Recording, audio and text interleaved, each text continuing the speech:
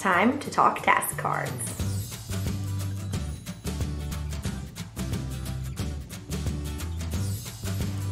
Here at Not Wimpy Teacher, task cards are one of our favorite resources to make and share with you. Today I'm going to be sharing five new and different things you can do with a set of task cards. First things first, what are task cards? Task cards are individual questions that have been segmented out. So on each card, students are only seeing one question at a time. You're gonna wanna make sure your questions are always numbered so students know what they're working on. Another key piece that comes with a set of task cards is a recording sheet. This is where students are gonna record their work and turn in to show you what they've been working on as they've worked through a traditional task card set.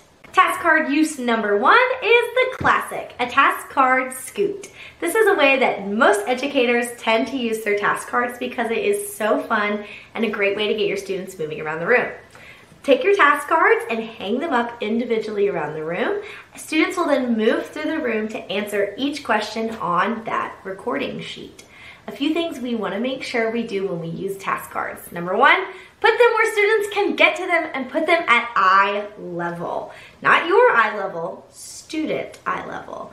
If students are having to work really hard to get to the cards, they're going to be able to spend less time working to answer the question. We also want to make sure that we are not putting time limits on these because some students need more time to work. I always like to have an early finisher activity lined up because I know some students are going to work through my task cards more quickly than others. Another great way to use those task cards is putting them as a center rotation. Task cards are great because you typically have more than 10 questions. So no matter how many students are working in your group at that center, each student can be working on one question independently. This makes that center truly an independent workstation, which means the volume is gonna stay nice and low while students work. Sometimes task cards require a little more cognitive work for our students, and I love that because it means I can put task cards in a center and students will be able to work on them in that center all week long. They keep up with their recording sheet, and each time they go to that center, they bring it with them to keep answering questions.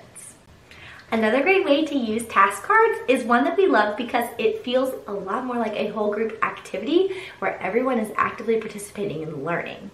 I love using task card pairs.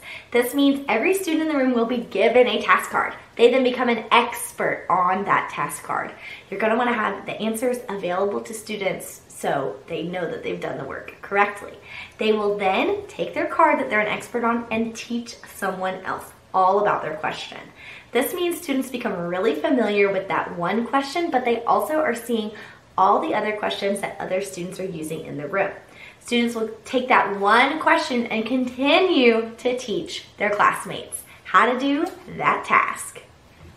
Another great way to use task cards with partners is to play the game Quiz Quiz Switch. Every student gets a task card, solves the work, and then goes and finds someone else. Their new partner will then have to solve the work as well and they compare answers. When you're done, students will switch cards and then start the process over again. Go find someone else, solve their card, and then check each other's answer. Both great ways to get students using those task cards, moving around the room, and building their brains.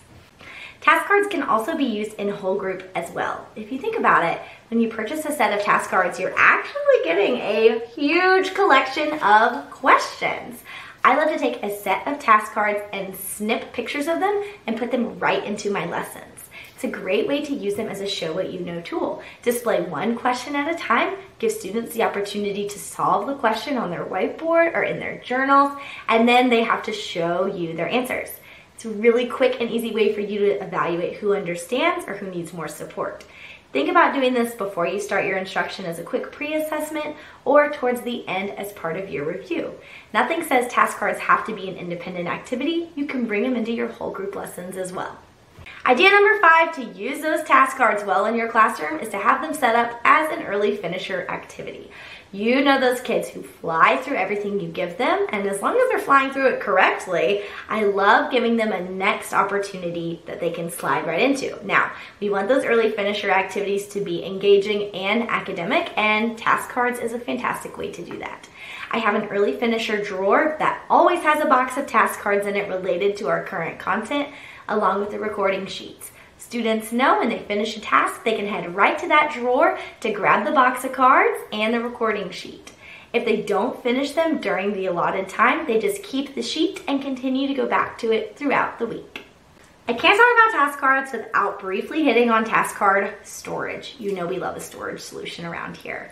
I like to cut laminate, and store all of my task cards in classic photo keepers. There's colorful ones, there's clear ones, and most of them, see if I can get it up here, most of them come in these great cases where you can store each photo box and have those task cards ready to go. So many of our resources in our Teachers Pay Teachers store include task cards. They're engaging, they're fun, and students love to use them. One of my favorites are the third and growing fourth grade math curriculums. Now it is a curriculum, so you're getting lesson plans, homework, pre and post assessments, everything you need to teach amazing math lessons to your third and fourth graders. But each unit within the curriculum also includes developmentally appropriate and standard correlated task card sets. I hope I've given you some ideas for ways you can use those task cards in your classroom. Hanging them up for a scoot is so much fun and there's so much more that you could be using them for. As always, guys, let me know down in the comments your favorite way to use task cards and any other videos you want to see from us. I hope you guys have a not so wimpy day. Bye!